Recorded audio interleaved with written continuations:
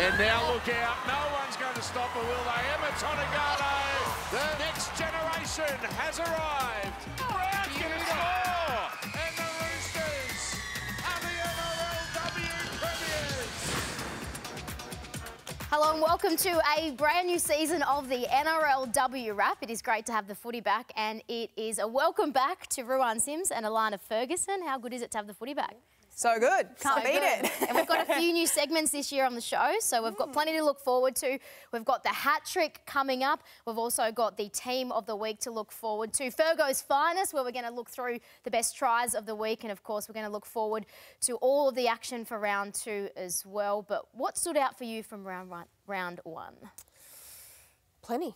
Loved it. Do we have to narrow it down? I think like I think what I really liked about it was all the girls came in with a season under their belt, Harvey, well, state state league series under their belts, Origin under their belts, and they just burst onto the scene, fit, ready to play footy. And off the back of it, I think you'll agree, Fergo, we just saw an even higher quality of footy. The Knights, who didn't win a game last year, came out of the block so strong against you know a team that's been leading this competition for years. That's is, isn't it? Like we're not starting from scratch, which is exciting. Um, the women have something to build upon. They haven't had to stop and, and sort of restart, and we're seeing that in even through round one's games. Um, how impressive this competition is going to be, but also to look forward to. Like there's still so many new combinations from these teams coming together. There aren't many teams that have sort of kept that solid base, um, spine-wise and whatnot. So I just think it's exciting to see how they kicked off round one, but where the game can can get to. And you'll see us turn up excited every single week. But it is, it's it's so good because they've got those resources, the coaching staff, the professional environments, and the game's just going to go from strength to strength. We're going to take a look at the best headlines from round one and a brand new segment, the hat trick. We're going to take a look first off at Stephanie Hancock. Wowee, 40 years old and a double. I mean, she had given it up and just said, you know what, I can't take it. Came back last year and she's back for another season with the Titans. This was very good to watch. I love the age drop, but it is, it's important. I think the best thing about Steph is you, you've seen her mindset when she has come back, but she is, and I played with her um, years ago, Ruse played with her forever, but she's looking so fit. And you, you can sort of bypass the age thing, but it, it is massive, even within the NRL. You don't see players play till this age. She's been playing footy her entire life and working extremely hard to be able to be that fit, that powerful, and have that big um, of an impact in games consistently, which we've seen since she has come back, is, is impressive. And she looked happy. Yeah, she looks she's happy. She's loving her footy. She's out there playing just the way that you would expect, loving it. And like to score two tries for a team is huge in anyone and in any case. But to come on and do it the way she did, I think is is hugely important. It's good for the Titans because it gives them that leadership up front as well. And uh, you know, and you can see just how excited she was after scoring them too. So age shall not weary. Absolutely. Well, what about Emma Tonegato? Because Jamie Soward, the Dragons coach, came out after this one and said she is the best number one in the game and she has to start for Australia at the World Cup. Do you agree with that? Well, she's making a pretty good case for herself, isn't she? Um, yeah, she's sensational. I think the conversation between the fullbacks, like it's the most contested position at the moment. But I think what Emma's brought from the get-go coming into the NRLW is that true professionalism. And you see it in the way that she plays. And not necessarily when the Dragons are always winning, but when they're in those tough moments. Um, she can take the hard carry. She can read the game brilliantly. She knows when to inject herself. Um, but yeah, yeah, just the professional mindset that she has, and then throw on top of that her ability is freaky. It'll be hard to keep her out of the team. She'll 100% be in that starting team. Um, I think the biggest conversation is how do you fit them all in? Who do you put into the outside backs? Because we've got some incredible athletes there as well.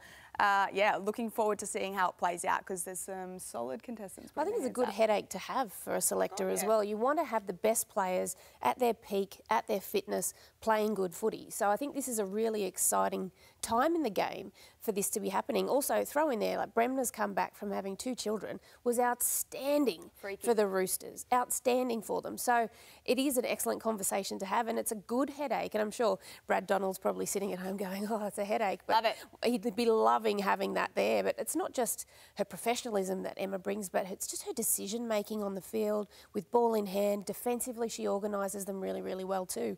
And I think defensively is where I've seen the biggest change in the Dragons game in the last couple of seasons being this year. So it's exciting. And I think she has a lot to do with it. She's got a big voice and she knows how to use it. Exciting times for the Knights as well. They had uh, Tamika Upton, uh, Millie Boyle, a lot, a big song and dance was made about all of the brand new recruits, and my goodness, they delivered. They lived up to the hype, didn't they?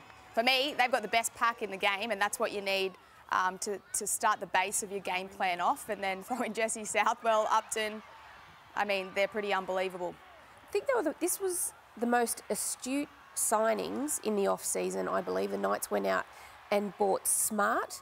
They've also invested in youth in Jesse Southwell and yeah, Bobbi Law has moved back to that favoured position of centre, and I think it really suits her running style of football that she has. And I agree with Allana, their pack is huge. Millie Boyle was massive for them. She ran for, again, over 190 metres on the weekend. Caitlin Johnston has that fire when she comes on, and she really brings that energy and that power. So I think they're looking really good this year. And to, to knock off the Broncos, first game up, after not winning a game last season, that's massive for the club.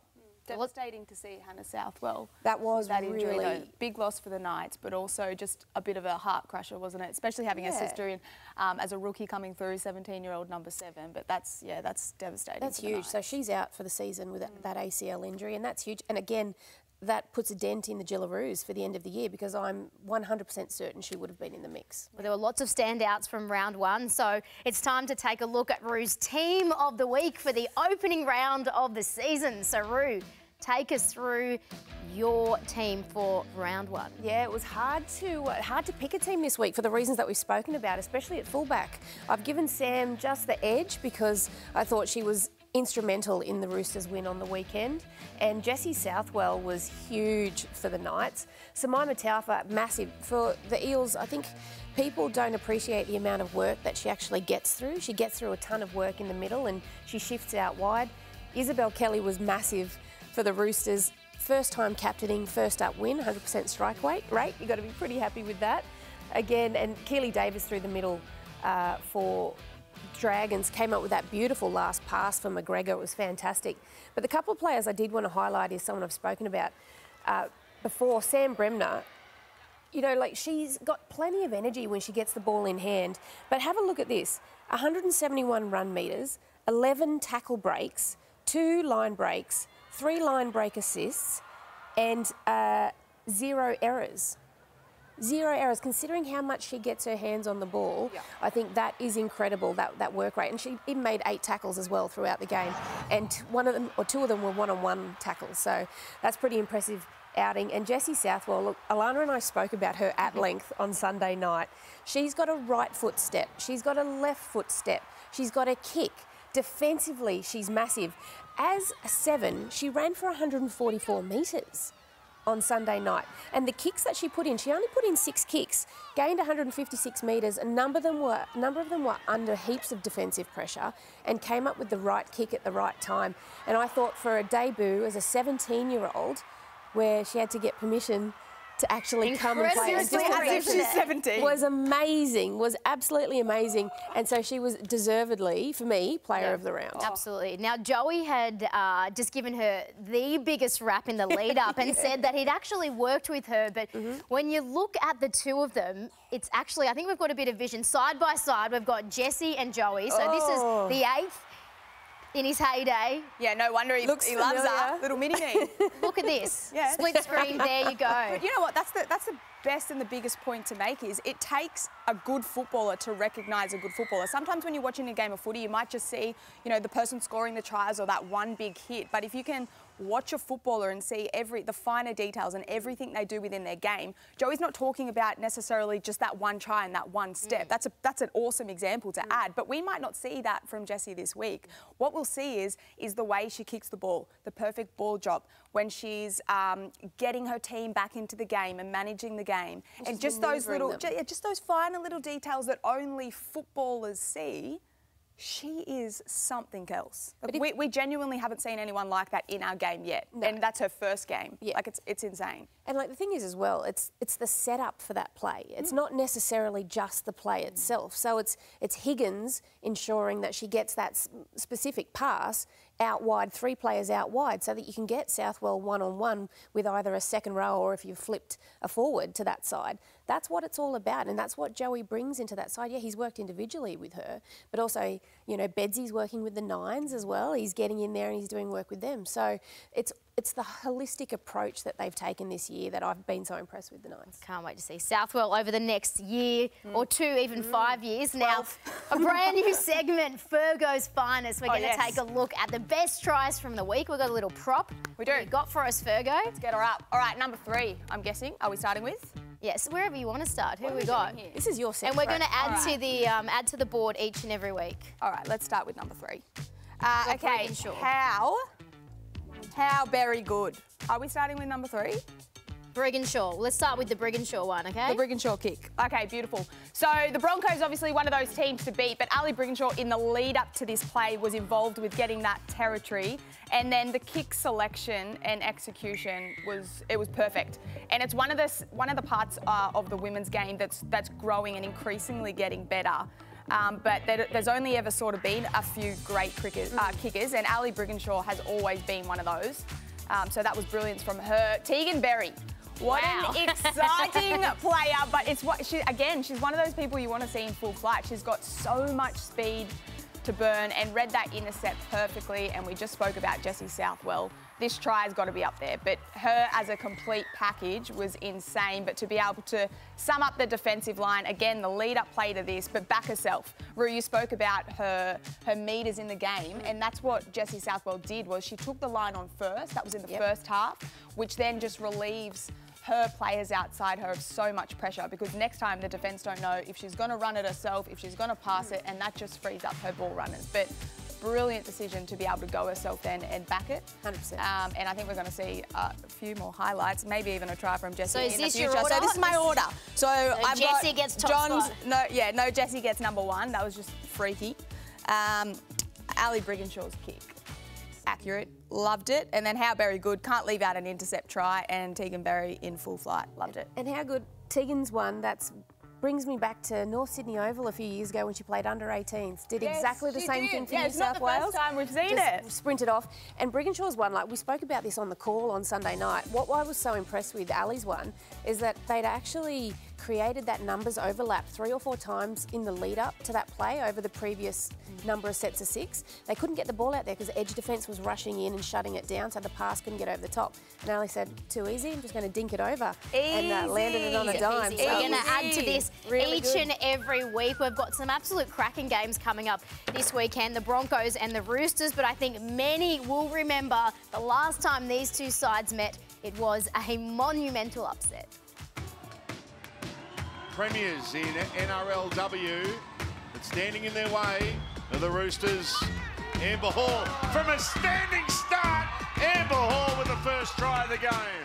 Aiken, Upton. Oh, what a run. Amy Turner sets up Robinson through the hands. McGregor. Good pass. Isabel Kelly. Six point lead for Brisbane. Come the Roosters. Kelleher throws a dummy, goes on a run, score! The Roosters are in front! Brisbane, they're trying something, but they're not going to go anywhere. And the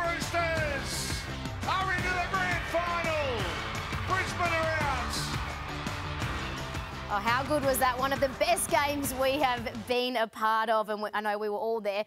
Leichhardt Oval, it was an absolute epic, and the two sides face off again this weekend. The first match of the round, we'll take a look at the team list. Only a, a very minor change for the Broncos. Brianna Clark comes onto the bench, and the Roosters are unchanged from that side that got an epic win in round one as they look to go back to back. But what about Jamie Chapman? Very impressive, wasn't she? Obviously, a big hole with Tamika Upton there, but how crucial is she to their chances this week? I think she's going to be wanting to get her hands on the ball a little bit more. I think she was just sort of finding where she was going to be popping up in the line.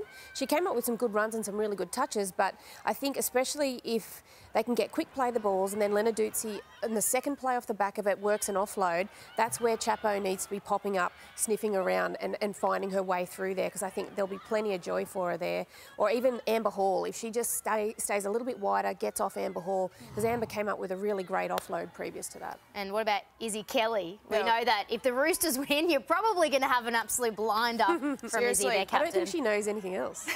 Seriously. Well, her work rate is unmatched, isn't it? But she'll always be in the highlights because she puts herself in the action. I think that's what the Roosters' game plan works through really well. They use their outside backs to get their set started when they need to get on the front foot and their forwards have been hammered. So you'll see Izzy pop up there, but also her work both sides of the ruck, linking up with Jess Sergis or sticking to her left edge. And this is her on the right. Already we've seen highlights of her playing on both sides. That's what she does. She offers um, different points of attack. She's got that speed and the power. You give her the ball close to the line. It's either an easy two on one pass because she draws a couple of defenders or she just thinks, stuff it, I'm going to run right over him. And she does it nine times out of 10. So she's an un- unbelievable player, but credit to the way that she trains and applies herself. And I also think we've seen Izzy's game go to the next level since NRLW and since getting some uh, obviously really particular coaching because she knows how to use her assets really well.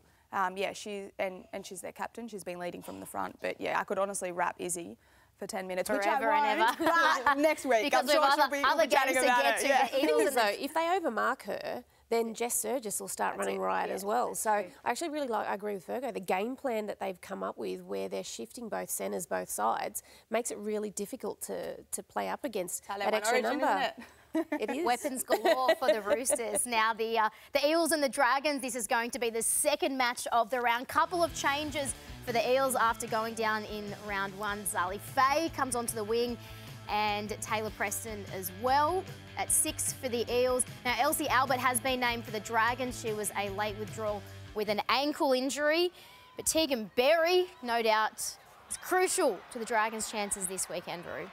Yeah, she will be. Well, she finishes off so beautifully. That's what we see out of her. I think if she can be playing and linking up with Emma Tonegato out the back, make sure that her timing's there, I think that's going to definitely add some spark out wide for the Dragons.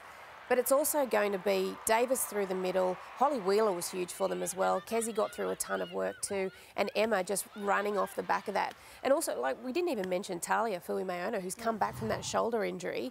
Uh, is really great to see her back running around. And Gayle Broughton coming across from rugby sevens. That was a, a big hole to fill with Bovedy Welsh obviously going down with an ankle injury. So once again, that's big shoes to fill for Gayle this season.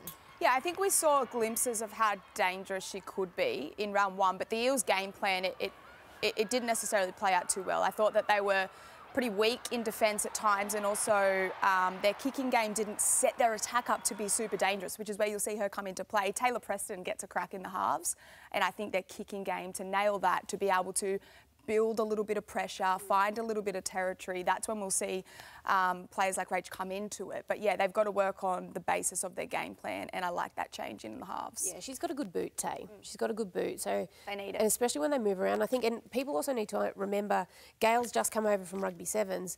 Emma's first game last year was a little slow as well. She's just finding her feet, figuring out where she needs to be, when she needs to be there, and I think that. You know, this week is going to be very different for Gayle. You can see her kicking game is huge. She's got a great boot on her, mm. and she's starting to really read the game. So I think she's this week is going to be a- big one for Gayle. Well, the final match of the round is the Knights and the Titans. We've got that one on nine now and nine gem. And oh, we mentioned before Hannah Southwell, a heartbreaking ACL injury.